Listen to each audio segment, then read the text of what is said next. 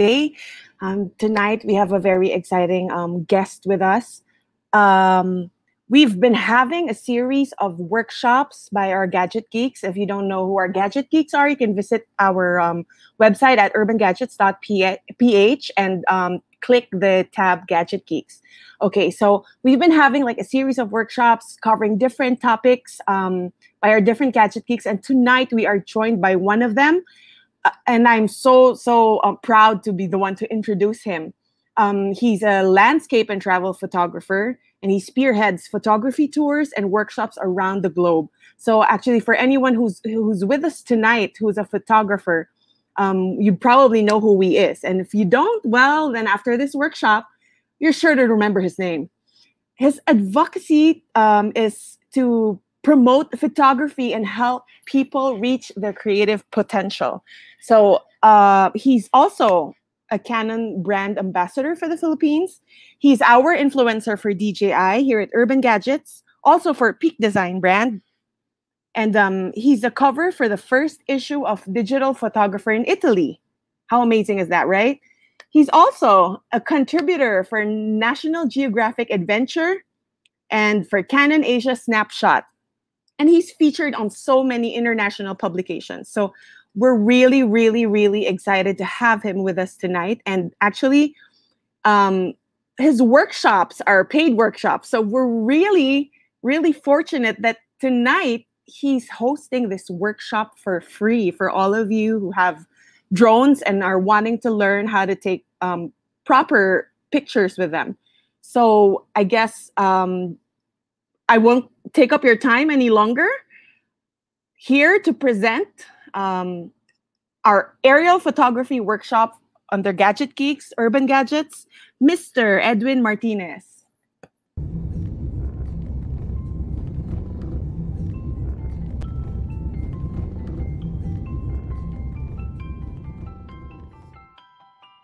breathtaking. It was like a dream, a painting, a painting where you can live in. It takes me, it captures me, it always leaves me in awe. This is how landscapes fascinate me. It makes me want to freeze time every time I see this painted like scenery with my two eyes. This is the reason why I continue living the story, the story within the photographs of this awesome scenery, going back and forth just to experience the awesome wonders of this world. It's beautiful. It's beautifully made. That capturing this picture perfect landscape is just what I need, what we all need. Living the story behind the photos is what we need. I am Edwin Martinez, travel and landscape photographer, and Canon Crusader of Light.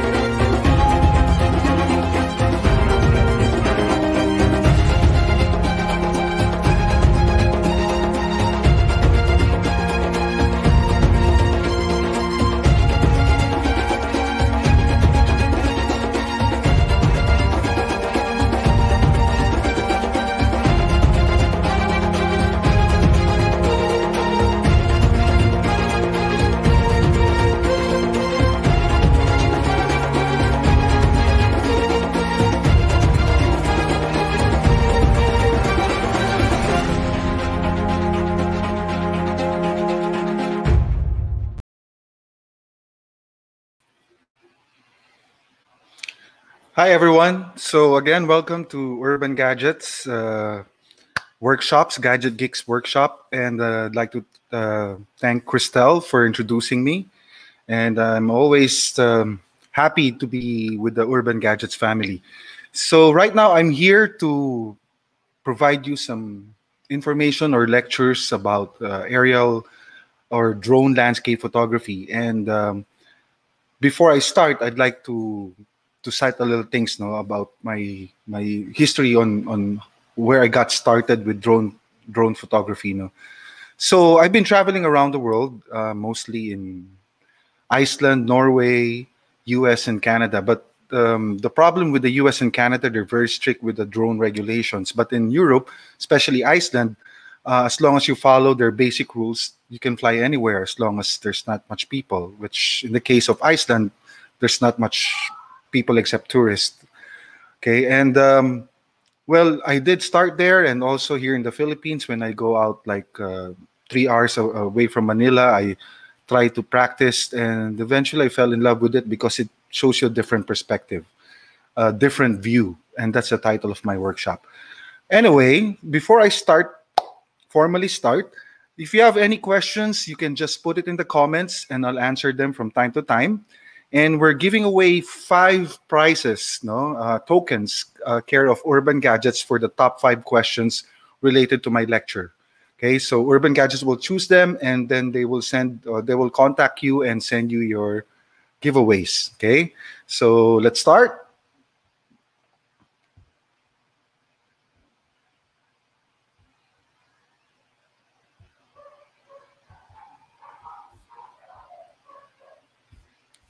Okay, so I think it's good.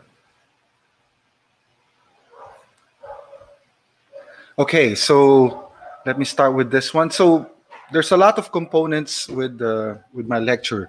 So I'd like to start off with the core concepts of um, drone photography, and um, and after that, um, some safety and uh, pre-flight checklist, um, then composition, uh, settings and settings of your drone, then composition, and finally a little bit of post-processing. Okay. Um, i just like to check if it's showing already. Okay, it's showing.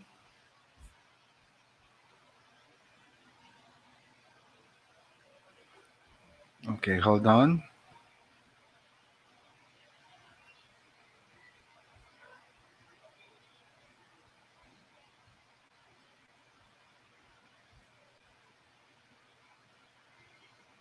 Okay, is it showing? Let's see.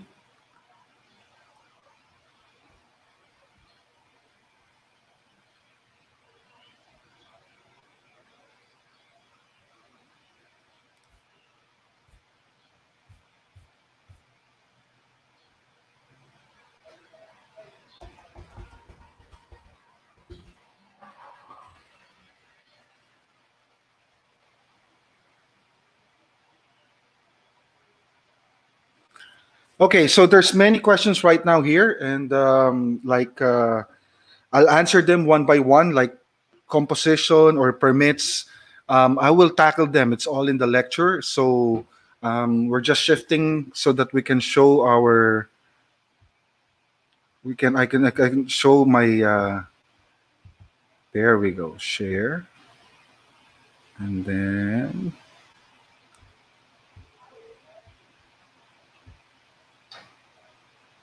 There we go. So I'm just checking if uh, everything is a-okay.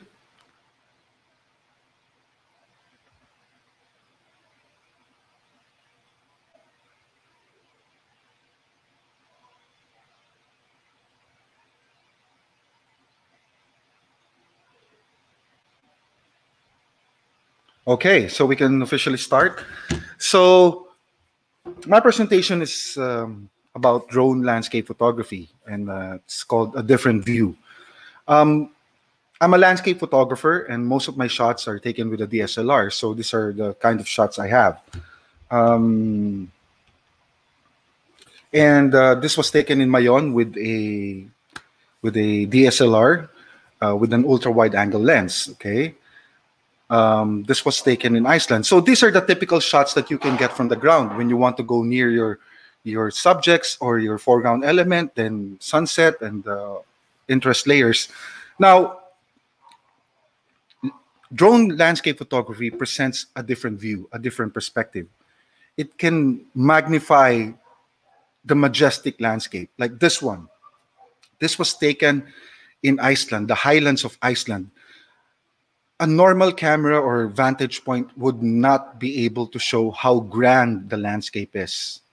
So this one I took with the Mavic Air 2, uh, Mavic Pro 2, and you can see you have the Glacier River on your left, and the three volcanoes, no, or three, three or four volcanic craters. Okay, and of course the mountain ranges. This was taken in Iceland. So normally a camera would not be able to take this, a normal DSLR. With the advent of drone photography, it's much easier to get this this kind of scene, no? And it can also be not about the grand landscape. You can also project intimate landscapes that are unique or abstracts that are unique. So this is one of the craters of the picture I've shown before. And the white dot is the our van no, that we ride during the tour. So it really provides you a new perspective, a new view of the world. And this is what I'd like to present. And these are the two volcanoes or craters with the road in the middle. Um, it's very hard to to to get this kind of shots before, and uh, I'd like to tackle some of the history of of lands of drone photography. Okay, so the evolution of aerial photography before it's quite hard. You have to rent um, either an airplane or helicopter Okay, um, it's very expensive. So most photographers like the Nat Geo or guys who have assignments with Time Magazine or etc. They they they rent out airplanes, and it costs a lot, like five thousand dollars to ten thousand dollars. Okay, so these were the only options. The first was the airplane, then a helicopter, and then the drone came out. But the drones during the first phase were bulky, they're big, and they use a DSLR as a as a as a camera, and um, it's also very expensive. A quadcopter or hexacopter or heptacopter during that time was costing about hundred thousand dollars, hundred thousand pesos to two hundred thousand pesos. Then DJI came out with UAV or the un- unmanned air v, uh, air air system, no? and they came out with the um, a lot of uh, products. No, this one, and then it got smaller with the Mavic. Okay, with the Phantom, the Mavic, and the um, Air. So it got less expensive and more accessible to a lot of people. And I've seen a lot of drone photography shots, and it blew my mind. So that's why at an early stage I joined in. No, I had the Phantom 4 Pro before, and then I went to a smaller one because I had the problem carrying the Phantom 4 Pro. For me, it was still too big, especially during my travel. And then came the Mavic, and it was perfect for me. It was a perfect marriage. So Mavic for me, um, just the right size, not too big, not too small. Okay. Now, one of the persons I really looked up to and also um, opened my eyes to to aerial landscape photography was Hans Strand. Back in 2010, I think I went to Vancouver in Canada. And in their airport, they had this like huge exhibition of his works. No, he started. He actually inspired me to to go into landscape or to drone landscape photography, and um, he's also a uh, Hasselblad master. No, Hans Strand but most of his shots were taken in aerial, aerials of Iceland, Norway, Sweden. He's based in Europe. And that made me interested in it. But it was too expensive at that time, no? But right now, it's not an exclusive club for people with money or influence. Okay. So for those who are hobbyists, they can buy a drone and just travel out like three to four hours away from Manila and they can practice and get landscape photo, land, uh, drone landscape shots that are unique. Okay, um, like this one. This was taken in um, Norway in Lofoten. So there's this long road in the middle of the fjord with two bridge, no, and I took the shot just last year, just before the pandemic. Okay, so aerial drone photography it made it accessible to a wide, uh, wider public, especially with the DJI drone products. Um, there's a wider choice of uh, UAV equipment. So you have, for the more professional, you have Inspire, then semi-professional, you have the Phantom series, then you have the Mavic, which is also semi-professional. Then you have the Mavic Air, Mavic Mini. So there's a lot of options right now, and it made it more easy or easier for people to get into drone landscape photography. And for me, the the greatest I think um, gift of this products were it's, it's smaller packaging. Um, used uh, I used to travel a lot with my Phantom 4 Pro, and it was so hard because it's bulky. It's a separate backpack with my camera, with the SLR2 camera bodies and the Phantom 4 Pro, I always get you know stop at the at the by by at the immigrant uh, uh, the airline checks or the airport checks um, on the weight of the carry-on luggage, and it was really it was really messy. So now the question is, which drone is for you? So there was a question here. Uh, those with limited budget to buy gears for landscape photography. If drone photography itself, there's you have to you have to ask that question yourself. No, so what is the right drone for you? Are you a enthusiast? Are you an amateur photographer? Do you do photography as a side sideline like weddings, etc.? Then you have to partner your choice with what you're doing. No, so it depends on the purpose. Okay, is it more on video? Is it more on photo? Okay, so if it's more on video, so you have to look at the specs, it 4K, full HD, how many frames per second. For photo, is it a one inch sensor or one and two thirds? So it's up to you. No, um, I cannot tell you which is the best out there in the market, but right now, personally, I'm using the Mavic 2 Pro with a Hasselblad camera. Um, size and portability is also very important, especially if you're traveling. Um, the Mavic Mini right now, it's really looking good. Uh, A lot of people are are a lot of photographers are saying it's with the size, with the how effective it is. It's also available right now in the market, especially at Urban Gadgets. Um, is it for personal or commercial? So if it's more in commercial, then you have to go to the higher end, Inspire or or the Phantom series. No. Now, um, I always tell this to a lot of people when asking uh, what to buy, what gear to buy. No? Um, I always tell them buy it right the first time, or you'll end up spending more. Like for example, you'll buy a let's say Mavic Air, and then later on, you saw that the image quality isn't good, so you need to go to Mavic Mavic Pro 2 or Mavic 2 Pro. So it just adds to your to your expenses. No, you have to sell your Mavic Mini or Mavic Air to a to a lesser value, then you have to buy the brand new one. So it's it's wrong, no? So always buy it right the first time, so it's less expensive. So as I said, Urban Gadgets they have a lot of deals. Um, they are sponsoring this workshop, so check out their their websites or their Facebook, and they have lots of deals coming out. No, so just check it out. Now, when choosing also a drone, I always uh, tell them also that the sensor and field of view is very important. Um, the bit rate, it's also important, but much more on video. Um, I'm more concerned on the sensor because I'm more into photography and also the field of view. So there are many sensors, like for example, um, uh, this this uh, models like this, the old models, they have a one and two thirds. Uh, then they have the Mavic uh, Mavic 1, which is also 1 and 2 thirds and 28 millimeter. Then you have the Mavic uh, Air, 1 and 2 thirds at 24 millimeter. The Phantom, 1 inch and 24 millimeter. The Mavic 2 Pro, has one inch sensor. So what do I mean by one inch sensor? So you could imagine this. Um, this is how much information a sensor could capture. A one and two thirds sensor, Spark, Mavic Air, and the Mavic Mavic Pro 1 can only capture the small information. The sensor size of the Phantom 4 Pro and Mavic 2 Pro are one inch so this is a graphic representation of the size of the sensor and how much information it can capture.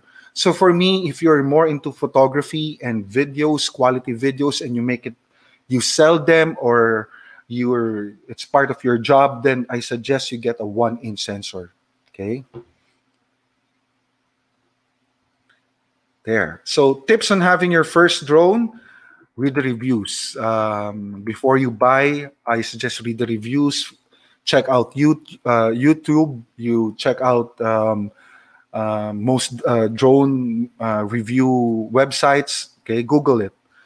Then after buying it, know your gear. Um, is it number one? Uh, is the size appropriate to you? Can you travel with it? The batteries check it because there's some issues with some batteries that bloats up easily so you have to check those. Then know your software. I think that this is the most important.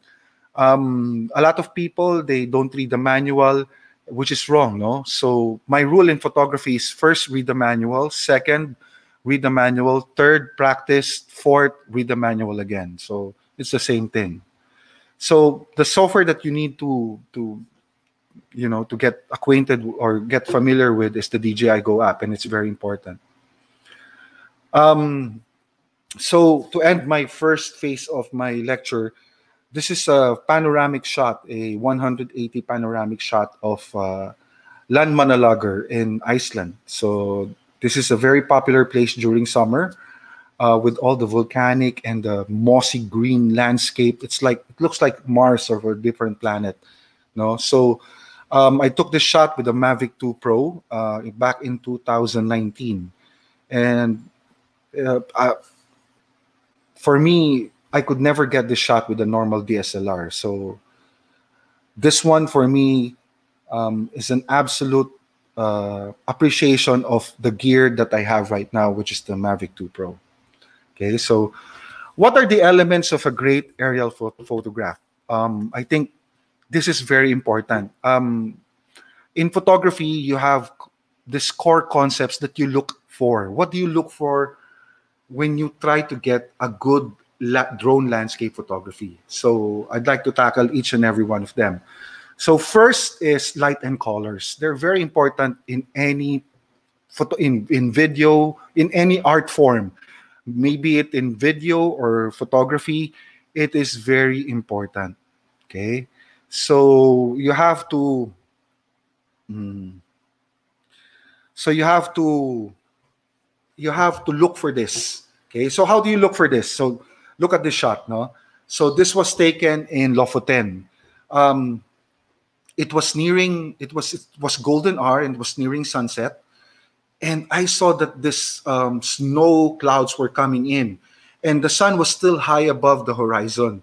And I knew that the, when that cloud goes to the sun, it would create this color, this this this um, um, um, what do you call this uh, colors? Um, warm colors or uh, moody colors, no? So right on the dot, I was there up in the air when it happened, and I got the shot. This is a vertical panorama. I'll explain later what are your options when photographing with using your drones, no? So what do you look for in lights and colors? So first, proper exposure.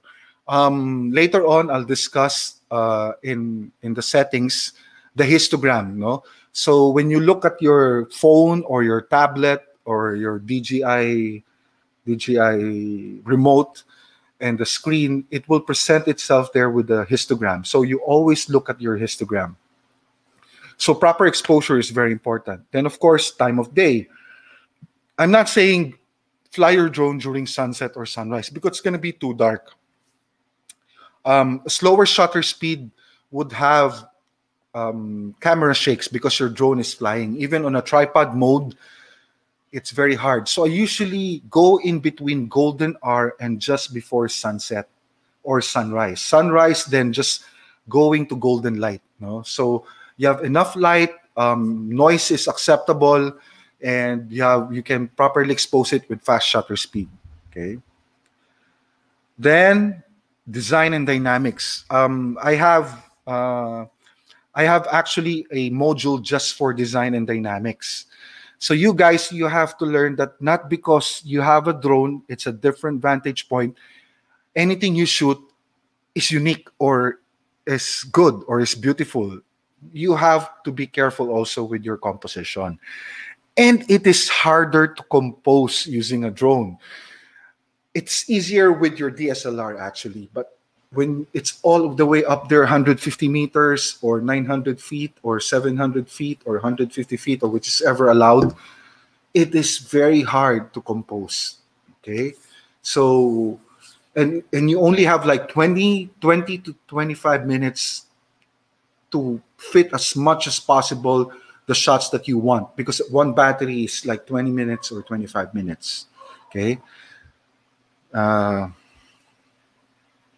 so that's it. So design and dynamics. So what do we look for in design and dynamics? Which I'll tackle later. Uh, geometrics, meaning circular, rectangular shapes.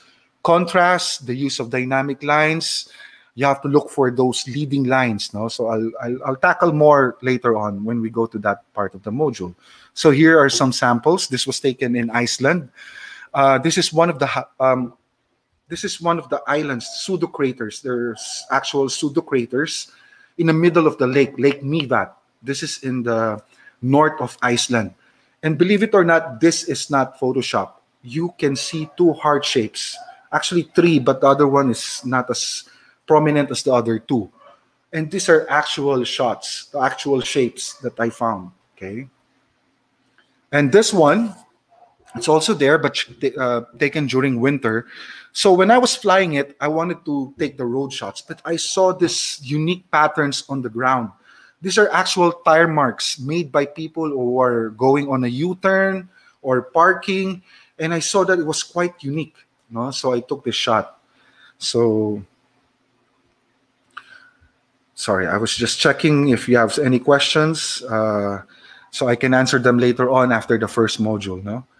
So the third element is the element of moment. You have to pick the right moment. Um, like this shot, this was taken in Vik in Iceland, and there was a mist or fog coming in and rolling alongside the cliff. No, so I immediately took out my drone, flew it out.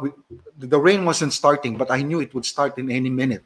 So for me to get this shot, I just took one shot. Then it started to rain, and then I just you know just uh, landed my my my my drone um, just before the rain started so moments are very important so what moments do you want to to to photograph as i said golden hour to sunset or sunrise to golden hour then atmospheric phenomena or weather phenomena like fog um, starburst uh, moody clouds so those are the things that you want you want to capture no so when you have all these elements, no, you have light and colors. This was taken during during uh, in Lofoten during uh, golden hour when the sun was going down. So you have light and colors. Then you have design and dynamics. I have this this bridge as a leading line, and then I have moments, which is this one. The the clouds were covering the the sun, creating like a misty or moody shot no? So when all of them are together you create harmony in your photo. So usually when you have these three ingredients in your shot you create harmony in your photo and i think that's a very important aspect that you look for okay? So but the problem is not not every time you can have those three you know most of the time light and colors are the ones that missing especially light because you don't have any control when you try to photograph and light is not as fantastic no? So what do you do no? So usually you add more design and dynamics so it's all about composition. So like this one it's moody there's no light but i wanted to get the the the, the, the glacier river running through the valley you know? So i got the curve encircling the the mountains. So it's very important. Um, it's very important to to to choose your design, okay, your design dynamics. So this one again is a 180 degree panorama. And this one is also 180 degree panorama. So it's moody weather. I said, okay, I'll just use colors and and uh, and use the composition for the lack of better light. So what I did was put the I captured the the, the crater with with the water in it, and I just captured the majestic and grand uh, the grand scene in um, in the in the highlands of Iceland. Okay, so like this one also. This was taken just recently. Um, I think uh, November last year. Uh, this is uh, Mount Cristobal. Okay, so Mount Cristobal and Mount Banahaw. This is Mount Cristobal. Uh, I took this in uh, Bangkong Kahoy in Dolores, Quezon, and this is a horizontal panorama. Um, so basically, the clouds were coming in, and the light was fantastic on top of the mountain. I flew my drone and tried to capture the mountains and the clouds, especially the light playing on the tip of the mountain. You know? So it's very important. So that's it for the first part. Maybe I can answer the question. I can go back to to stop. Uh, maybe there's stop sharing. There we go. So let's. Uh, any question, Crystal, that we can check? Maybe I can check here. So paano po napipili ang composition sa aerial photography by Jonil, no? Um, I'll discuss it later, as I told you. Um, it's more on geometrics, eh? so and contrast and colors. So later on, I'll answer that question. So do you need permit every time in one place when you fly a drone? I'll tackle this also later in the safety guidelines. Um, most of the time, hindi mo naman kailangan ng permit if it's more on if you're an enthusiast, no? But if you fly within the metro or cities or near airports, I think you would need a a license or a CAP registration for that. Huh? Uh, what's your advice for people with limited budget to buy gears for landscape photography and how do you keep your passion alive? Wow, very general question. No? So, in terms of budget, um, I suggest just buy what you need. Um, try to maximize what your current tool is. And if your tool isn't enough to to handle your talent or your output, then I think it's time you upgrade. No, so yun lang sinasabi ko. You only upgrade when you feel that your camera or your lens is limiting you already to what you can do. Um, how to keep the passion alive? Now that's a very tough, you know, especially during the pandemic. Um, my suggestion is that you you keep being inspired no, um, for me, I always look at Instagram and the works of of other photographers, and when I see something good, I always dissect how they did it, and yun. So it keeps my passion alive. No, not only uh, being inspired, but also being competitive, not to other photographers, but to yourself. I always like to outdo what I did last time. So, for example, if I travel back to Iceland, I won't take the same pictures, but I will challenge myself to take a better picture of my last shot. So I think it's more of attitude. No? So that's enough for questions right now. Um, let's proceed to the next. So shout out lang sa mga umaten. So we have uh, Sir Jonathan Tabisora. Uh, he's the owner of Urban Gadgets. Hello, sir. Rob Vargas, JM Calagos, Fritz Medalla, Gerald Gonzalez. Okay, so hi and everyone to you guys for watching. So just keep on asking. We have five prizes for the top five questions that Urban Gadgets will pick. Okay. So let me share my screen again. Okay. And then let's go to the second. Okay. So are we good? Are we good? Is the screen showing? Let's see. Let's see.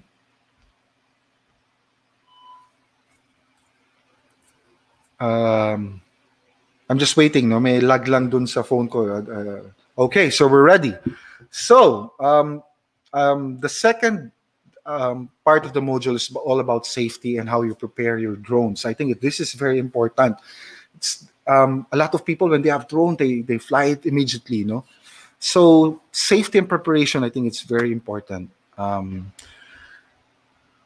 so look at this picture. Um, these are pictures of drones that have crashed. No, I got some are some are from my trips in Iceland. Some I got from from the internet. No, um, when you buy a drone, I think the most important mindset that I can give you as a piece of advice is that you have to be prepared that your drone will either get lost or will get broken.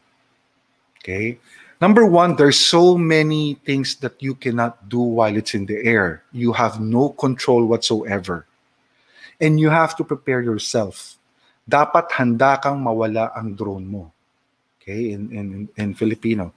It's because if you always have that notion of being careful, then you will never maximize the potential of your drones. Okay, I'll repeat that.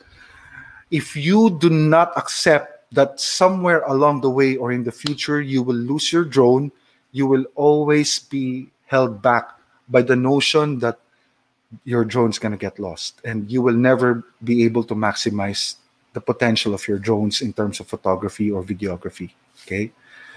So uh, these are some samples of what can happen in the future. So you have to prepare yourself. Edwin have you crashed your drone? Yes. My very first drone was a phantom 4 pro I broke it. My Mavic 2, um, almost. Um, one of the elisi actually was broken, but that's it.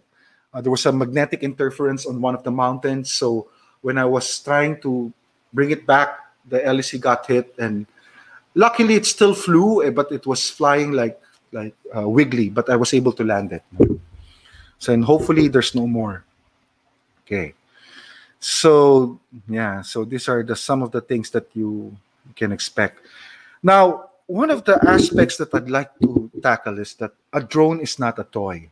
Um, I've seen a lot of I, I joined a lot of groups here, uh, which are Philippine based, uh, which are uh, which are particular to drone photography or videography, and they have this called Ninja Move. You know, they fly in the city, they fly without any license or certificate, and it's um, actually um, I, I I I pity those people because if anything happens, if it's like it destroys a property, you're flying it in the city, then you lose control and it destroys a car. No, um, it's very expensive.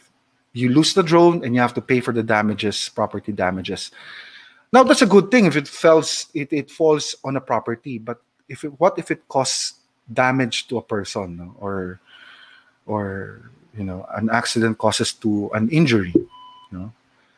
So this is um, a picture of a kid. Actually um, if you search on the, the internet the, the very first drones especially in europe and the us they weren't that strict but because of this boy restrictions were given no? So oscar webb lost uh, one of his his right eye because the elisi of the drone sliced into it and I, I heed to my my the, those who are watching and those who have um, are drone owners not to fly if there's a lot of people here or if you're flying in the city.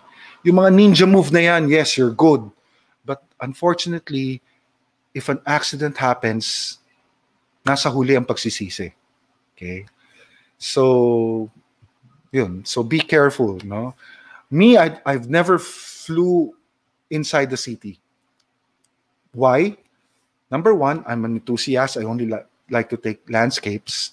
When I have projects that need drones, I get people who have certification and experience flying it manually, um, ATTI, no? So at least if anything happens, it's their fault. Um, but for me, I'm not confident yet to do it here in the city. So, UAV or unmanned aerial vehicle. No, this is the term given to any drone. So all drones uh, if you go to if you go and research um, like regulations in Iceland or Norway, do not pro, do not search uh, drone regulations. You put UAV. It's called an un- unmanned aerial vehicle. Okay. So general rules for flying a drone in the Philippines. Um, so these are this is the the laws um, or the ordinance here, which is being handled by CAAP. No. So to fly a drone for commercial purpose or fly a drone that weighs seven kilograms or 50 pounds or more, you need to obtain a certificate from CAAP. Um, you can only fly during day. Um, usually nighttime, you cannot fly your drone in the Philippines. It's against CAAP regulations and in good weather. Uh, so do not let the drone fly outside of your visual line of sight, no? Um, usually, mga iba may spotter pa sila, but for me, you should know where which direction or your drone you have a line of sight to it. Do not fly over populated areas such as schools or marketplaces. Do not fly higher than 400 feet above ground level. Do not fly closer than 30 meters from a group of persons not involved in drone operation. Do not fly closer than 10 kilometers from airports. Actually, you cannot fly it, especially with if you have an updated DJI Go app. No, do not fly near emergencies like fires, uh, catastrophes. No, so they're against it. So these are the things that you have to remember, or general rules uh, for flying a drone in the Philippines. You can search it. There's a CAAP ordinance. Um, you can easily find it and you can easily download it. Okay. So um, let's go back more on on on you know um, what I do when I'm in the field and I'm going to fly my drone. So what do I do? So I have a pretty um, um, standard procedure before I fly my pre uh, my my drone. No, it's a pre-flight checklist. So it usually involve, involves area environment, your equipment, and me as a flyer. So let's discuss uh, each and every one of them. Okay. So area environment. Usually, when you're in the location, you look for the three P's. So proximity. Do you have any magnetic interference? Airports or any major um, establishments, no private properties. So those are things that you have to look for. Proximity. Usually, I would download UAV uh, UAV pilot or UAV forecast, UAV forecast, and it would show you the nearest airports or helicopter pads near you. So I, at least this one you'll be be able to find out. No, say it shows there. So another P during the location is people. So you look if there's a group of people, there's too much people. I would not fly a drone if there's too many people. Property. So is it a private property? Usually, if you fly over a private property, you need a permit. Okay. Then um, for air environment, weather. Weather is very important. So uh, winds below 10 meters per second or 30 kilometers per hour is good. Anything above, it's your choice. No, I've flown my Mavic 2 Pro on um, 15 to 18 meters per second, but above that, I would not fly it. No, precipitation, especially rain. I have not yet seen any drone that is waterproof. No? Um, I think there is, but it's not DJI. You know, so you have to look at it. Also, temperature. If it's below minus 10 Celsius or below 10 Celsius, look at your battery immediately because cold usually would drain your battery faster. So that those are the things that you have to check. Okay, equipment. So general inspection, check your prop- propellers. Does it have a chip? It's still straight. Motor, try to check your motor first. So before I fly, I check my motor first. If there's no like sand or something during the landing or or takeoff. There's sand in the motor, so you clean it. Battery, always check your battery, especially if it's bloated. A lot of people they don't check their battery. They put their batteries there and it's bloated, and during the flight it pops off. Bye bye drone. Okay, always check your battery. You cycle your battery. I have not encountered yet any of my batteries uh, that became bloated because I cycled them and I also drain them before I put them to storage. Okay. Gimbal and camera. Always check your gimbal, gimbal and camera. A lot of people they forget to take off their. So when you turn it on, um, immediately remove the gimbal cover because if you don't, wh- when it when it um, checks the the gimbal, it moves the gimbal automatic movement, uh, and there's the cover. It might destroy uh, the gimbal. Okay. Then micro SD. Uh, I've seen a lot of uh, my my my tour clients who fl- flies their drone and it flies a few kilometers away, three kilometers away, and when they're about to take a picture or video, there's no micro SD. Okay. The good thing is the Mavic 2 Pro has an internal 8 gig. No, it actually happened to me in Dolores, Quezon, in uh, in uh, Bangkong Kahoy. A friend of mine um, borrowed the micro SD for a video presentation for for Canon Philippines, no, because he used my drone during the launch of the Canon R5 and R6. He forgot to to to return it. I flew my drone thinking that my micro SD was there, but it wasn't. But good thing it has an 8 gig internal memory, and I was able to get the pictures. So the third uh, pre-checklist is the flyer, no.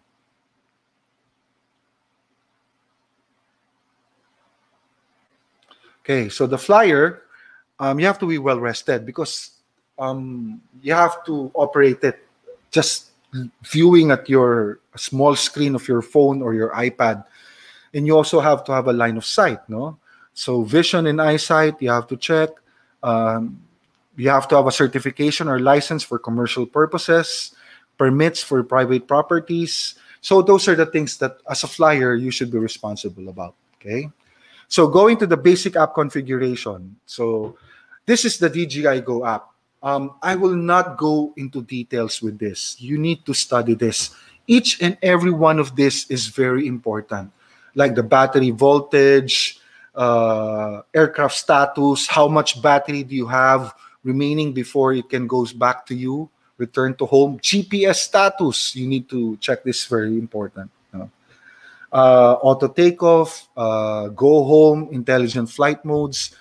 Um, my my pet peeve is that I need to know all of these buttons, so I study them. So I read the manual and everything. And I suggest you do so. Why? Because it helps you. When you're in the air, you cannot ask question or you cannot Google things. You're already up there, and you only have 20 minutes to get the shot. So it's very important that you have to familiar, familiarize yourself with the DJI Go app. Okay. So important reminders, no? Always check and recalibrate your compass. Wherever you are, if you're flying for the first time there, calibrate your compass. If it doesn't give you that warning, still calibrate it. Okay? I've learned a lot from my own experience. If you don't calibrate, you might lose your camera, it will fly away. Uh, there's uh, there would be instances that it would fly away or it will not go home where it's supposed to be or the gps for the location is not accurate. Okay? So always calibrate. Ensure proper rth and location. Do this every time at a new location. Okay? It's so easy to calibrate it. Okay? So this is this is usually my my 30 seconds rule. I follow this religiously when I'm flying a drone. 30 seconds for final inspection of the unit and remote before activating the motor. 30 seconds to configure and check my RC settings, my remote control. Am I in manual mode? Am I in AV mode? Am I in video? Am I in photography mode? So I always check that. Okay, camera calibration is good. I just finish it. So that's it. Then 30 seconds, I hover it. I don't just fly away immediately. I let it hover for 15 to 30 seconds. Actually, 30 seconds is good enough just to have a GPS lock and to warm up your motors. It's very important to warm up your motors because if you don't warm up your motor, especially if you're in a cold climate, the problem is it will uh, it will advance the wear and tear. Okay, so those are the things. This is my 30 seconds rule. So Um, now, if you want to know the basics of how to fly your drone, no? Um, so learn the basics of drone flight plus CAP regulations with Urban Gadgets. So they also have a separate, they would have a separate um, lecture on the basics of flying, the actual flying, no? Uh, batch is 2021, which is going to be launching soon. This is in coordination with uh, CAAP, No, so to learn the basics and with cap regulations. Okay, for traveling with drone, I've seen a lot of questions. How do I travel with my drone? No, let's see. Uh, okay, so maraming uh, nanonood. So shout out to Christian Lim. Uh, he's a very good landscape photographer, good friend. He's also a DJ right now. So check it out. Uh, his mixes are really good for the 80s and 90s. Jeff Gonzalez, can human interest or adding people in the composition would increase the quality of your photo? Yes, adding human element is very good. No, like you've seen some of my shots, I have some human element. No, uh, what can you advise in while flying over water? Um, pray. I've flown my drone so many times um, away from the land and over the water. You can't do anything. Um, but there's some um, third party accessories that you can put. Um, actually, I have one uh, with an inflatable, but the problem it adds weight, and also there's a drag when the wind is your drone's going to be slower. So that's one of the things. No, so shout out to Sir Bo watching, Bo Apostol, Benjo Trinidad, uh, Jet Gobales, uh, so there, no? Bayan Dorj uh, from Mongolia. Hello, hi, how are you? Okay. So now, um, for traveling with drone, I've been asked a lot of questions. Uh, Edwin, is it hard to travel with your drone? When I had the Phantom 4 Pro, yes. Actually, coming home from the Philippines, I took an Emirates uh, flight. Right there at the gate, they measure your hand carry. It's not usual, but sometimes they do this and if it's over seven kilograms, then you have to pay. And I paid like about $100, $200 additional just for the, excess weight because of my drone. Check airline and transport airport uh, transfer airport regulations on batteries and hand carry luggage specifications.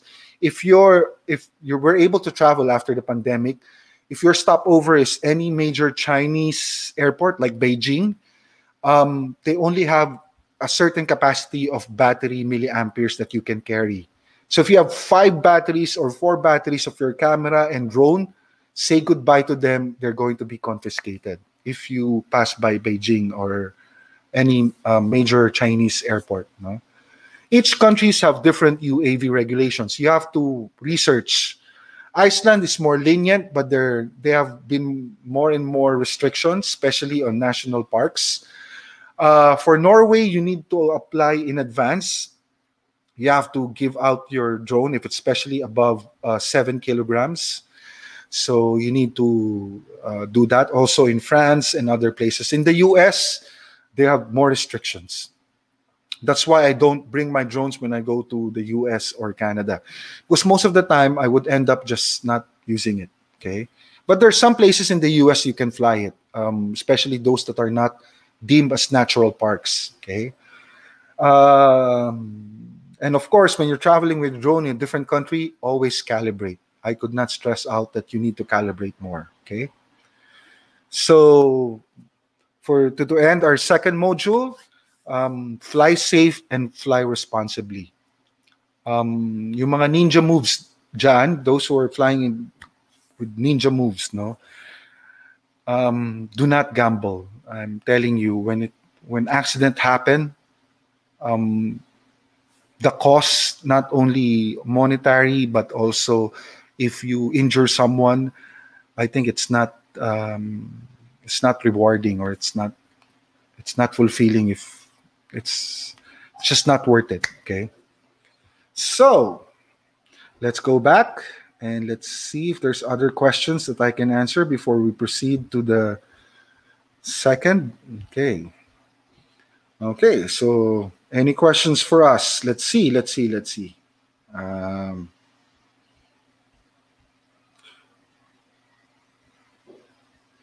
so hi to Chris John Tingson from Visayas Negros Occidental. Levis Palapar from Palawan. Okay. So adding human elements, I've answered this. Shooting in water. The limit of my drone is that I know my wife will kill me if it is lost. um, you have to be very careful. But again, you cannot baby your your drone or you won't be able to maximize it. Like I fly my drone really high to get that perspective. Um, and part of me already accepts that if something happens to it, then it's okay. It, it's part of it's part of the fun. No? Uh, what is the drone feature that you have seen before that you should wish current drones to have? Um, so far, the new application has has given me all the things I want, um, except for a vertical, uh, a vertical. So they took this out from the Mavic One Pro, no. Usually, when you do vertical, you can switch the orientation of your screen from horizontal to vertical. So that is very important when you're visualizing via a vertical panorama. No, I think um, Mr. Jonathan Tabisaura, also of Urban Gadgets, we hated this on the new Mavic 2 Pro because it doesn't have it. No? So I wish they could bring it back.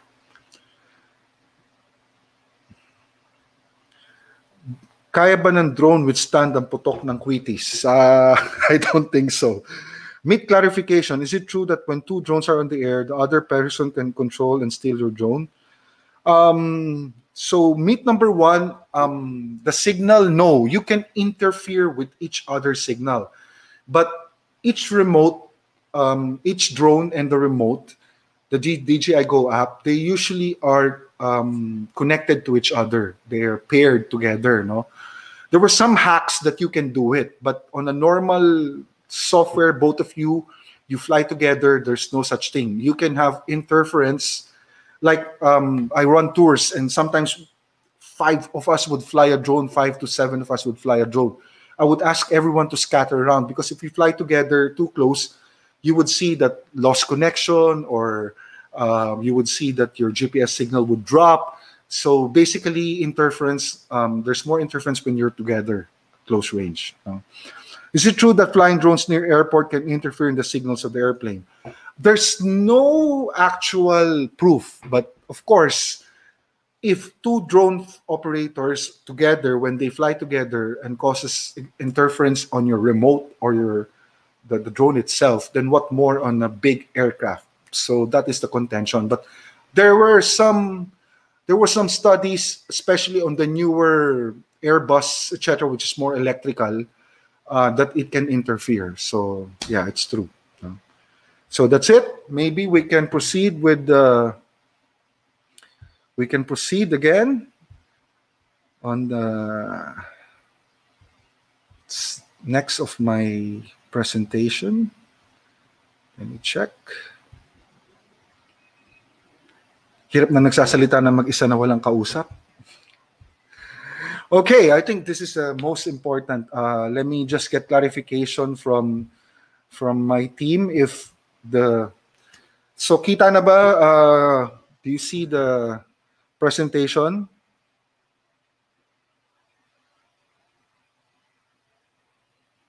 Okay, so we're good.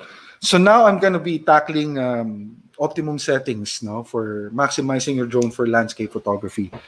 So this was also taken in Lofoten in Skagsanden Beach. This is a horizontal panorama. You would see some of my drone shots are more into panorama, no? because it captures more and it's really unique, like this one. No? Um, for me, I was flying in water. I don't care. Actually, there we were two flying this this this area. So one of them was Jonathan Tabisaura, the owner of Urban Gadget. He was with me in in uh, Lofoten.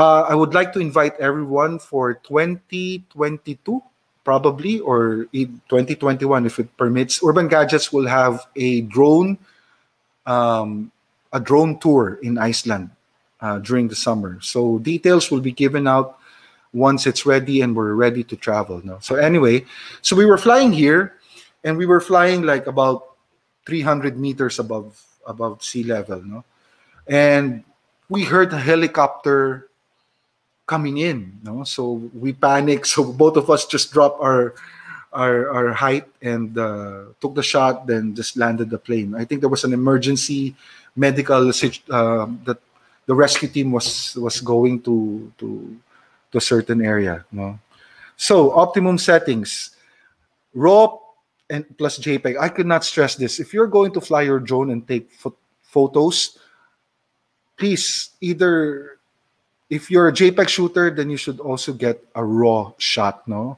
the DNG, uh, the DNG file of uh, DJI is really good. It you can extract more details. No, so these are the advantages of JPEG and RAW.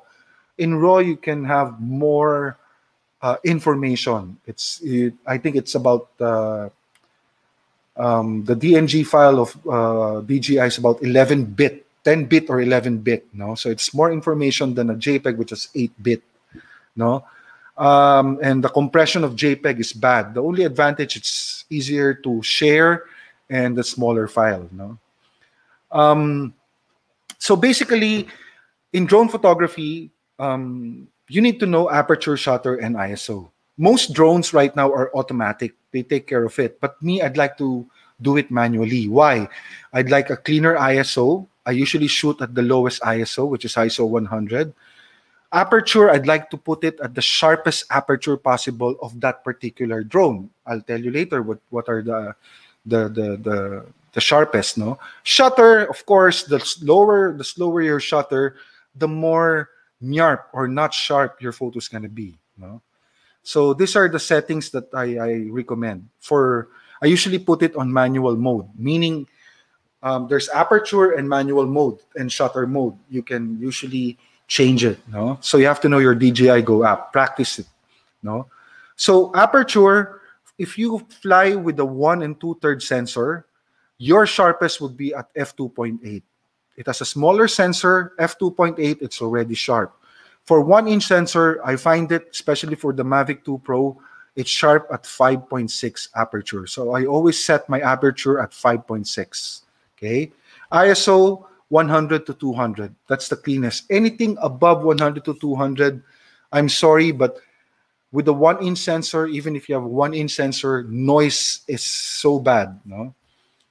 Shutter speed, it has to be times two of the focal length. If you have a 28 millimeter focal view, then you should have at least 1 over 50 to 1 over 60 shutter speed.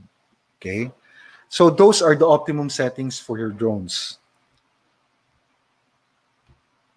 Okay, let me check. Which mode is safer? Uh, GPS mode.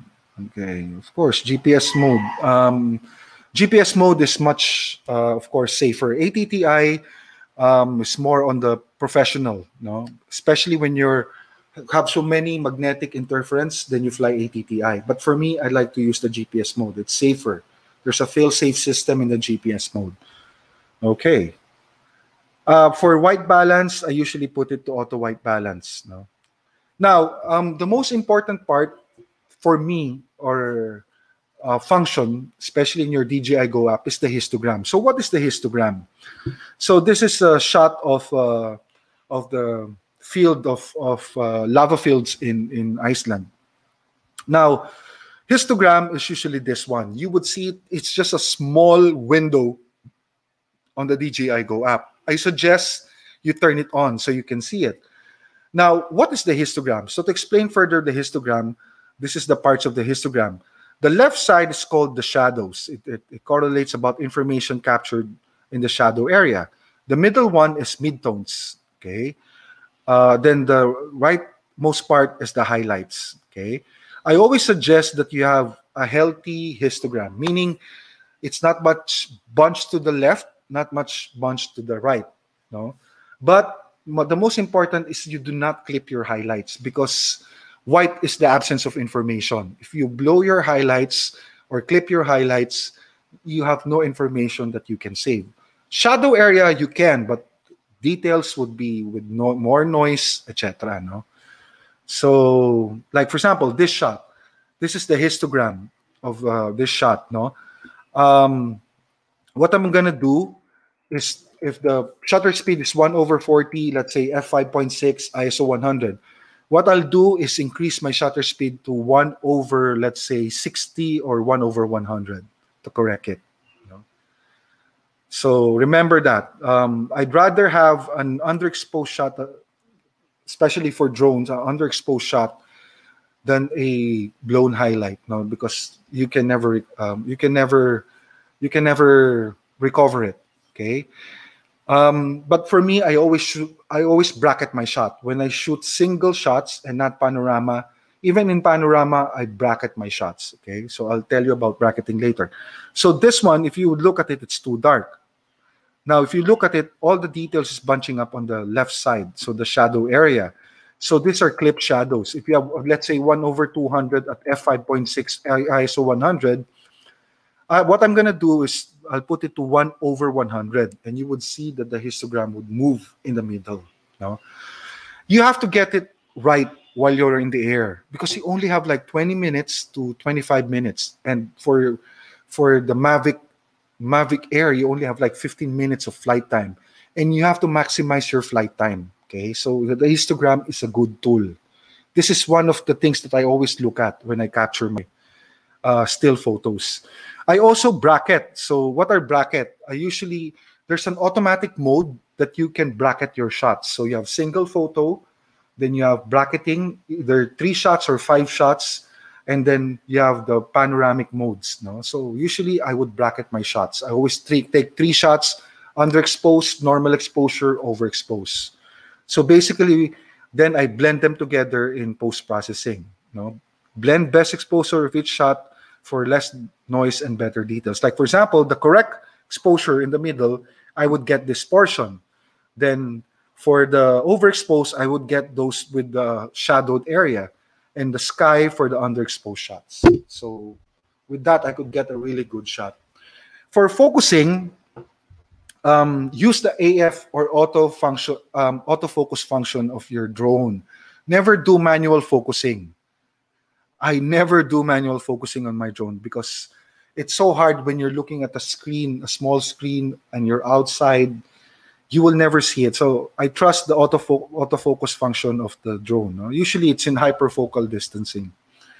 So you can also activate focus peaking to see where it focuses.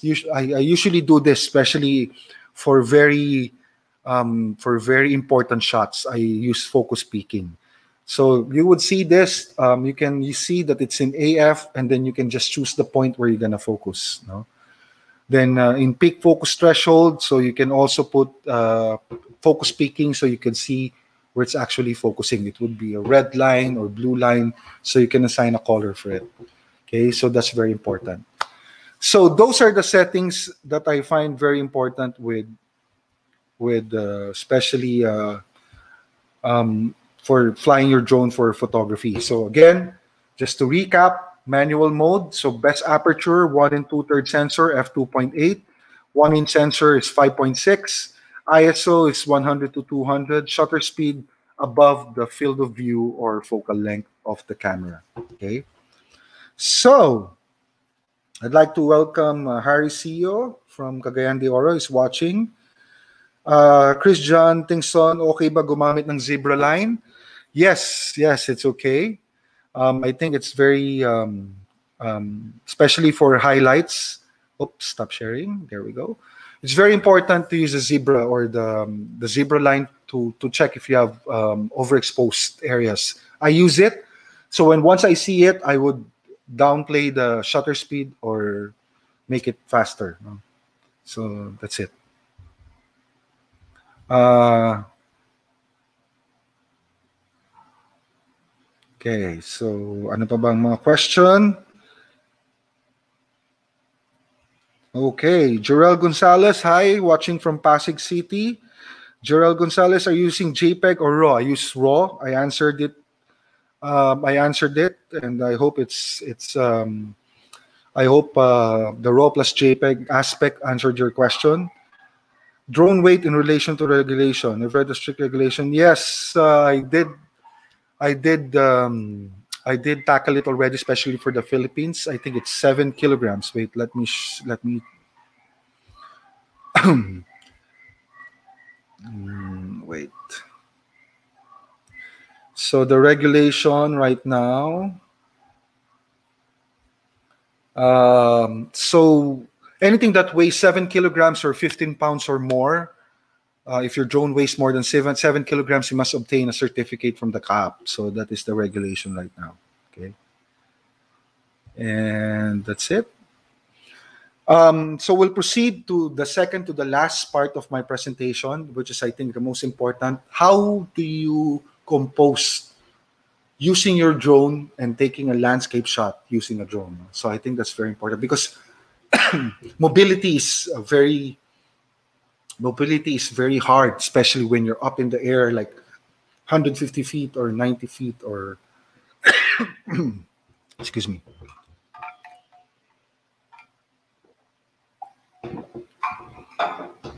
So that's very important, no? And um, um, I think uh, Urban Gadgets will replay this, um, and hopefully you can you can really enjoy the lecture that I'm going to be presenting. So I'll be sharing the screen. Let's go to the second to the last presentation. Okay, share. Then, ah, hindi pa pala. Filters muna. Okay. So let's go to filters. Okay, before I go to the last part, which is the composition. No? So filters. Um, a lot of people are asking me if I use filters in my drone. Actually, yes. I never take it off, especially the CPL. So I have a CPL actually in my drone. CPL is very important. Um, it improves the the clarity of the picture, the aesthetics of the picture, and I think um, a drone owner should have filters with him. No? So filters. So this shot was taken in um, in Vestrahorn in Iceland. So I was using, I think, a DJI Mavic One when I took this shot. I had a CPL to get more of the colors and also to lessen the reflection from from the sun. You know? So why use filters? Improves the overall look of the photo or video. You can also mm-hmm. it you can also have um, or do surreal effects like uh, slow shutter speeds. Okay, so ayaw mandar. Bakit? Okay, play. There we go. There we go. Mm-hmm. Okay, here we go.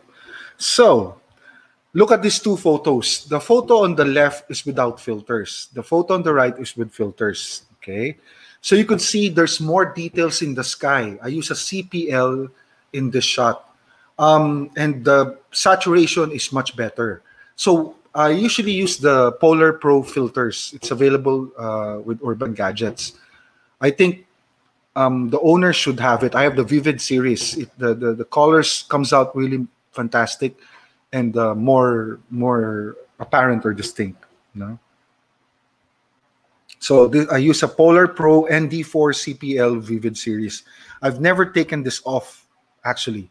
Still in my drone. When I fly my drone, I only when I fly um, like close to sunset or sunrise, that's the time I take it off okay because it's darker i need a more faster shutter speed uh, so cpl and nd different use and different purpose i use polar pro filters so this is the so you have nd8 nd16 nd32 nd8 pl nd16 pl what i use is the pl version it means that it has eight st- uh, in nd8 is three stops so it has a three stops and it also works as a cpl so it's a combination I usually I just bought the 3-1, the 4, 8, and the 16. Above that, I don't use it. Why? Because your camera is flying and camera shake is very apparent or very it, it will happen especially in slow shutter speed even in tripod mode so i only would go like 1 over 4 or even 1 second that's pushing it so for me to do that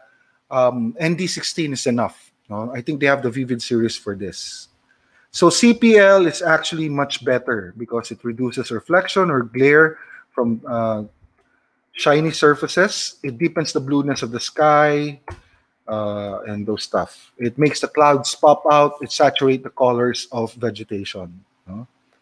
So, bakit? Hmm, weird. Dito tayo. There we go. So look at this. This shot I took. Uh, I took this with the CPL. No, so over the glare. Uh, this one also, uh, I took it with the CPL to get the green color, no, and the brownish color of the of the waves that this this boats are are doing. I took this in uh, Bukidnon, okay, near CDO. So neutral density, it provides the effect. It cuts light entry and you can use slow shutter effect. So look, take a look at the shot. This was taken with a one second exposure for me to get that slow shutter speed of the waterfall, tsaka yung trail na ganon. I know it's not enough, uh, but still the effect is there. Now, um, usually it's hard when your camera is flying and the winds are there. There's a lot of elements that can make your photo not sharp. So I, for slow shutter, I usually do it like not so often. You know? So this is one of the instances. Um, final reminders for filters: get the best brand, usually Pro Filters. Keep your filters clean. When you fly them, I usually clean my filters. Okay, any smudge, you would see it when you're processing your photos, so it's very important. Okay. So, uh, question here: Does Ur by Benjo Trinidad? Does Urban Gadget have NDPL filters for the Mavic 2 Pro? Yes, I think so. Um, I think Crystal or Sir Jonathan can answer it in the comment section. Uh, so that's it. Nagagamit niyo po ba ang CPL or puro, puro ND filters? CPL palagi nakakabit sa I never take it off. The CPL for me is the most often used is my often used filter for my drone. Okay. So all the shots that you've seen here, CPL yan, may ND4PL. Okay. So how do you take good care of your batteries and what percentage do you store them? Um, usually I store them in a dry box and um, number one, I cycle them. So I put one, two, three, uh, I mark my battery. So after one, I make sure I use two, three, and four. So I never use the same battery twice in the same day. then second, when I store them, I know that, like for example, now I usually store them at 10% or 15%. I never store them at 50% capacity. 20% below, you can store it safely. No, and I think the most important here is store it in a dry cabinet. Humidity can also cause it to bloat. Okay, so that's it, and we'll go now to the last of my presentation, which is the longest also, which is composition. I think this is the most important part in um, in in in any aspect of photography, even videography. You know, um, cinematography, the color grading, etc. It's nice, but the way you compose your frame, it's very important. Know? I think this is the most critical part. So look at the shot. This was taken in again the highlands of Iceland so I use colors and abstract patterns to present my, my landscape. So this is an actual island with the volcano or pseudo craters. They call it pseudo craters in a heart-shaped lagoon. You know? So it's all about visual design. I think this is the most important aspect when you fly a drone is how to compose. No, so different perspective doesn't make the photograph. Composition does. Okay, always remember that. Not because you have a drone, your photos will turn out much better. No, composition is still the king. Okay. Okay. So great photography is about implementing your vision with great design. What do I mean by this? Um, when you fly a drone, you fly it with a reason. You've researched the place, you know where to go, you know what to take a photo. That's how I fly my drone. No, it's about implementing what I already want and just implementing it with with a good solid design dynamics. No, so what do I mean by that? So vision is all about intention, all about concept. What do you want? Intimate landscape ba? Panorama? So what do you want to capture? What do you want to achieve? It's very important, no? So intention. Are you gonna shoot a color or monochrome? Are you gonna shoot slow or fast exposure? Are you gonna put a human element? Are you gonna shoot panorama 180, horizontal or vertical? So when you fly, you only have 25 minutes, and this one you should have already made up your mind what to do. That's the secret when you're flying with your drone you fly with intent. Okay. So like this one, when I flew my drone, I saw that the clouds were breaking up. So immediately after calibrating and the 30 second rule that I did, I flew my drone and I went really close to the glacier. This is the glacier uh, in uh, in Iceland called Sevinifus Jökull, no? Jökull. Sevinifus Jökull. So some of the Icelandics were watching this probably having a laugh, me pronouncing how to pronounce it, but I think I got it right. Anyway, so I just waited for my drone. Um, uh, just I just hovered my drone on a certain spot, the composition I like, and I waited for the clouds to to disperse, and this shaft of light appeared. And I took bracketed shots, and this is the and this is how it worked. No, your intention will dictate the outcome of your work. So if you have no intention when you're flying a drone and just exploration, it is also good, but it will not have the best result. Okay. Yeah, main ingredient for a great design. So ano ba to? You should have a visual workflow. I always follow this, maybe it in a DSLR on a drone photography. Okay? So, ano ba yung visual workflow ko?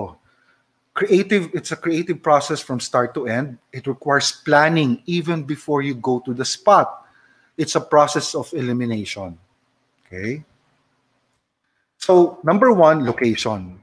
I think the most important location location location in any business location is very important in photography location is also very important framing how you frame your scene are you going to do a vertical panorama are you going to do a 180 panorama to do just single shots are you to do abstract so those are the things that you have you have to to find out no perspective Okay, so that's it. Are you to do vertical, horizontal? So those are the stuff. Like, for example, what location will you photograph?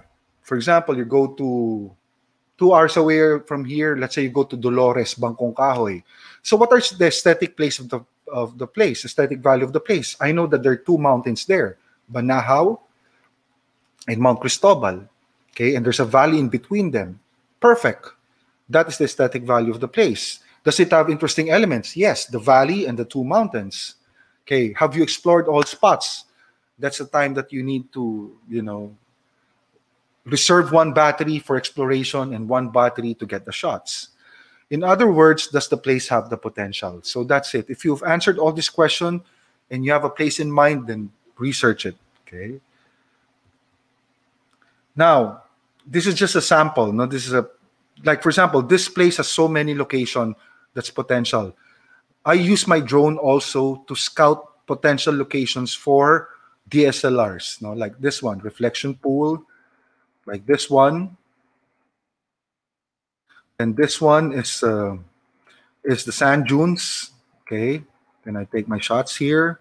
So with my drone, I was able also to to check out other potential locations for landscape photography using a DSLR. Then you have the waves. Okay. Then you have the cliff.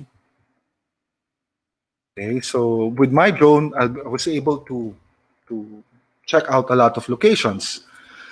Exploration is always the key. Okay. Now this shot, I have never when I took this shot, I have never seen any other shots of Lofoten with this shot. Um, in terms of date, and if you research uh, drone shots of Lofoten, Hamnøy, I think my shot would have the oldest date. Okay. So you need to explore everything. And I think the best tool will be Google Earth or Google Map. Google Earth is much better because it has a 3D and it's updated every time. like for example, this one, Tagaytay. I was planning to go to Tagaytay um, just before it had like seismic activity again. I saw some shots of friends of like from Gilson Q who took also drone shots. Uh, their group took, took. So I was planning it. I was supposed to go last week, but then eruptions happened and restrictions were were imposed, so I wasn't able to go. But I already researched, so I knew how to take the shots and everything. You would see that Taal volcano is perfect for drone shots. You, know, you can already imagine your shots just using the Google Earth. Like for example, if you choose Bohol, uh, the Chocolate Hills, would it be really good for top view shots or or drone shots. For top view shots, I don't think it's going to be good. If you look at Google Earth, it's just lumps of, of you know, of these things. So for top view shots, I know Bohol would not be perfect. So it might might be perfect shooting it uh, sideways, horizontally, or vertically for Vertoramas. Okay. So Google Earth is your best friend when trying to scout for an area and how to use it. Okay. So again, location is very important. You have to know that the location has potential. And you can use Google Earth to check it. Uh, you can also fly your drone. Um, you can allocate one battery just for exploring, then take the shot on the second battery. You know? Framing. Um, framing is very important. So this one, for example, when I took this shot, I wanted the crater to be a leading line, okay, towards the frame. So when I took the shot, um, I used the lagoon okay, the volcanic, the, the volcanic lagoon as my foreground element as the anchor point. Then lead your uh, eyes towards to the rest of the frame. So that's very important. Okay. Uh-huh. Okay. So, so in framing, um, there's always two things that you want to capture: the grand scene or the abstract. Um, for me, I always take two of them when I go to a place. No? So let me explain. For the grand scene, use the rule of thirds, geometrics, and the use of dynamic lines. Then always look for interest layers. So this was taken in Caliraya. I just converted to black and white. Single shot, top view. Always place your interest elements in one third of the bot. Uh, sorry, on uh, one third uh, aspect of the frame. No, so on the intersecting points, this would make your photo more balanced, okay, or uh, more interesting. No? So these are basic guides or leading lines. So this is in Dettifoss, one, the most, uh, the second most powerful waterfall in Europe, and um, I use the cliff as my leading line. No? So you have leading lines, diagonal lines. Most of my shots would contain this. Why? They are effective in engaging the viewer. It leads the viewer towards the frame. So I always look for diagonal lines in my frame. So like this one, this was taken uh, during the workshop of urban gadgets in Eastwood, and I used the the the what do you call this? The canal, no, the as leading line diagonal lines. Okay? Or even this one, no? It, it's not apparent, but you could see a diagonal line crossing towards the brightest point of the frame, which is the sun. So always look for diagonal lines. For me, diagonal lines are the most dynamic of all lines. Bakit? Because it directs visual path, meaning the viewer engages in the photo he's he or she is directed towards to where you want the photo starts and ends okay so roads or curves are also good i have a lot of curves as a leading line they're also dynamic and they also gives you gives you a, a leading line path no so another one curves i use roads as part of the curve this is in norway this one is in uh, highlands of uh, North Iceland. Okay. This one was taken just last year, no, just before the pandemic. Curves. And this one, even in my abstract, I use curves. This is a this is a glacier river running through a volcanic uh, area. Okay, so it melts the snow. It's a geothermal area, and has this aqua blue colors. The steam, the water, it's perfect, no? And there's the bridge in the middle. That's a footbridge in the middle. So curves are very important also. So interest layers. Always look for interest layers also on your um, on your photo on your photograph.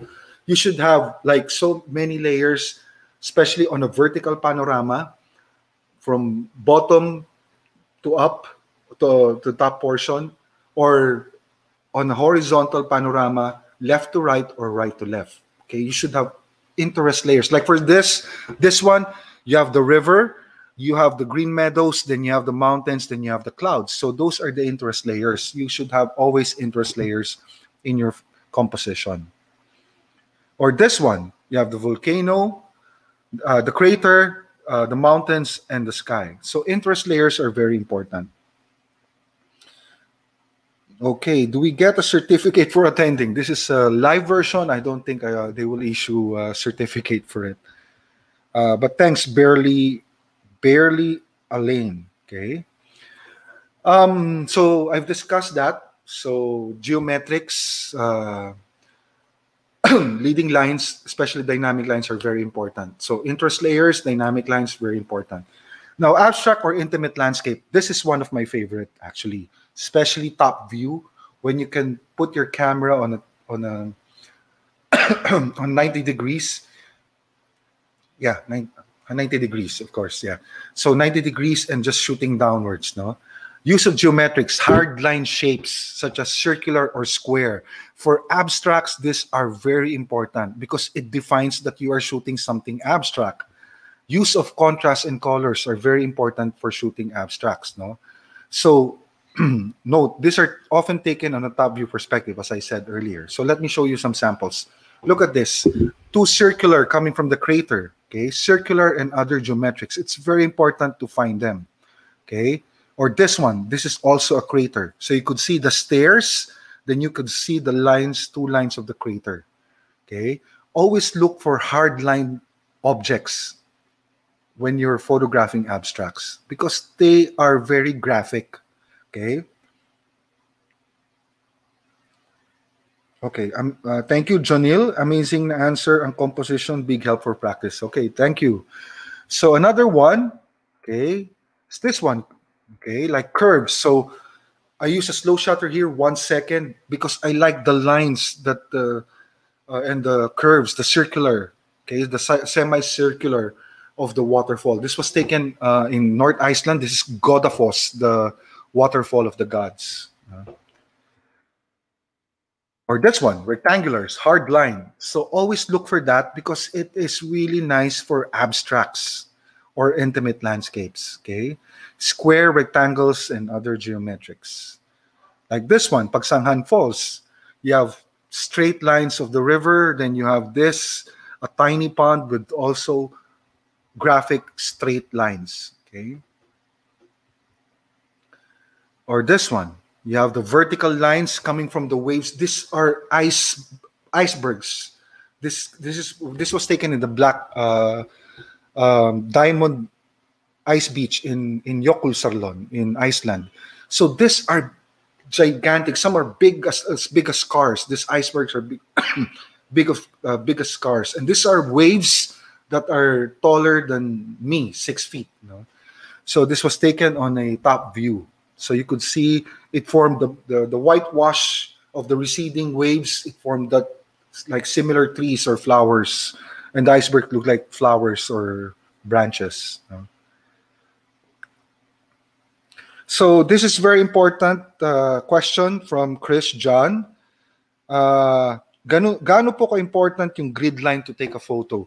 I always have the grid line in my photo, both in my camera and my drones in my remote, the DJI Go app. Grid lines will help you put your subjects into the rule of thirds. So always activate your grid lines. I usually use three by three, no, which is normal for the best. Nor uh, the, for me, the best also for taking photographs. Okay, abstract geometrics like this one, no. So always look for. Also, um, I think one of the things that I always uh, tell my participants always look for the extraordinary especially if you can like this one if to take a look at this photo what do you see? Especially on the lava field yung foreground element.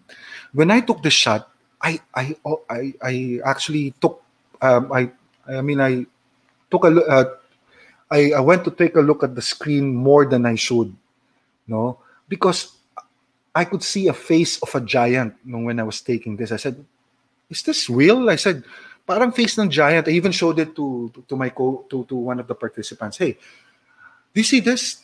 What do you what do you think it is? I said, it's look like it looks like a face. So take those things. You look always for those things because it's very, it tells a story. Okay, so when you're looking for this, yeah. So abstract geometrics. So contrast is also important. What are contrasts? Okay, colors. Like for example, this one you would see mountains, and then you would see structures, man-made structures. These are contrasts. But also I have leading line. No, I have the shapes. But of course, color and color is the biggest thing that you can have in contrast. So you have warm colors, then you have the bluish tints of the of the buildings. So this one presents a lot of contrast, no? So this was taken in Pico de Loro in Batangas, Nasugbu, Batangas. Okay. Or this one, contrast of colors. You have the water and the greenish uh, green fields or lava moss of the island and the craters. So colors, very important. Okay, perspective. Okay, wait, wait. Okay, perspective, maximizing the use of height and width. I think it's very, thank you, RD, breathtaking images. Okay, thank you, RD Lopez. Hello. So perspective, maximizing the use of height and width. Um, I think it's very important. One of my biggest use of the DJI Go app is the panorama. I always use the panorama. Okay. So look at this. This is a single shot of the Mavic 1 Pro. Okay. Uh, I took the Glacier River, the valley, which the Glacier uh, River is flowing, and the mountains in the highlands of Iceland. And then I took an abstract shot. So after taking that, I took an abstract shot of the Glacier River. After that, I went farther, then I took a 180 panorama in just one battery. So I was able to deal with all the perspective. When you fly your drone, you maximize composition. Take the normal shot, bracket it, then take an intimate shot, take the photo, then fly it out more, take the wide panoramic views, either horizontal, 180, or vertical always maximize. So this one, look, ayan. maximize your airtime. I cannot stress this out. When you're composing, maximize your airtime. Make use of all perspective and angle in one location. Again, I'll show you this. So I went to this island. This island was about three kilometers from the parking lot. So I went there, Mavic Air. I thought the battery would not last until it goes back. But when I was able to go here, I see there was enough battery. So first, I took this shot, straight shot, raw shot, bracketed. Then later on, I went and took some detail shots, abstract. Okay. So I took a couple. You've seen some of the pictures. I took like five or six. Then flying back to the parking to my location or home, I took the panoramic. Okay, this is a panoramic shot. About 21 photos, 180. Okay, always maximize your airtime when you're photographing. Try to capture all perspective. Okay, the single shot, bracketed or single composition, abstract, panoramic. Okay. You can have so coffee. I hope this is being recorded. Anthony Makla, I, I, I think it's being recorded. I just don't know if they're gonna put it uh, in the website or the Facebook. I but I think they will. Awesome workshop. Oh, awesome, awesome workshop. Nabubulol na ako. Okay. So again, this shot is one of my favorite shot actually. Um, when I'm, uh, I always remember this place and I discovered this place looking at the Google Maps, no, and also uh, um, my co-guide uh, in Iceland. Uh, he was saying, "Hey, look at it in the Google Maps," and I, and I when I saw it, I said, "Wow, perfect." So, yeah. Technique, okay. I think uh, in composition, technique is very important, no. So, what are the techniques that you can use, especially for the DJI Go app? Panorama. So, this is a vertical panorama this is a 180 panorama. Okay. This is also 180 panorama. Try to use the panorama. I'm telling you, it provides a different perspective, especially if you plan your shot. When you're doing panorama, you simulate it by moving your gimbal already. Okay? Usually the the drone will take it one shot, middle, up, down, move it either left or right. I think left. Uh, yeah, left. Then doing it three like this. Okay. So you have to know what you're photographing. Do not waste your air time. If you want a panorama, then try to position yourself when you can capture more of the interest elements. Okay. So like this one, I always put it in the middle, then capture the mountain ranges here and the light show here. So when I flew it out about five kilometers from the shoreline, okay, my parking nandit, yeah, I was like on that dots there on the on the right side, no. So I made sure that the the, the main island with the road was in my middle. So when I took the shot, it has to be in the middle. So when it took it, it took everything into account. Okay? Yun. So, um, as I said, calibrate your IMU and compass every time. Horizon must be leveled. It's very important the IMU is calibrated or you have always a tilted horizon and your panorama would never be perfect. I don't usually calibrate it every time, but for example, if I don't use my my my drone for like now 6 months before I use it, I calibrate everything invest on a sun hood or FPV monitor. It makes viewing your composition better. Okay, if you're only using a phone or iPad, iPad is much better. But usually I have a dedicated phone for my drone with a FPV monitor. Okay, first person view monitor. Make sure your bracket when you're using single shot or even panorama. Okay, then make use of panorama mode, vertical, horizontal, 180. 360, not too much for me, but that's it then always check your battery level. And with that, I end my uh, presentation. I think uh, that's enough time for from six o'clock to almost eight o'clock. Uh, let me go back to the screen and stop sharing. Okay. Yon. Salamat, an avid follower from bird landscape to nature. Kasama ka ngayon sa drone photography. Yes. Um, let me check what are the questions. Okay. Hope pagkaroon ng training for starters lang sa drone. I think they have one. Uh, is the use of filters applicable for the mini? Any drone, if you put a filter, it's going to be applicable. Maybe a Spark, Mini, Mavic uh, Mini, or Mavic Air you can do it. No? Thank you, Renz Austria.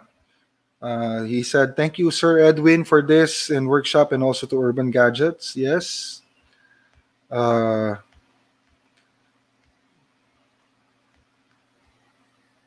okay. Uh, I mean, from Jet Gonzalez Subaba, amazing shots. Indeed, a master of what you're teaching. Kudos to UG for tapping the right resource person.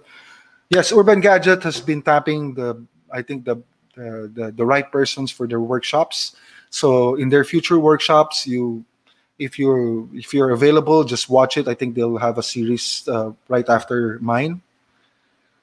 Uh, Palawan tayo, boss. Yes, when the right time comes, when the pandemic is over, no. Uh, thank you, Sir Jonathan, for the opportunity, the owner. Jel Hernandez, very inspiring. Thank you. Junra, thank you. Jordan, thank you then also if you've learned a lot as a beginner. No? So um, with that, I think um, I've taken much of your time and uh, thank you very much.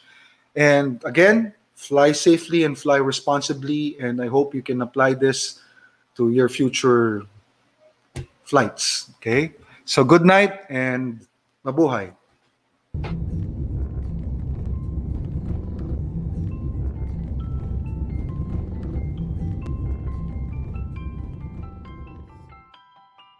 Breathtaking.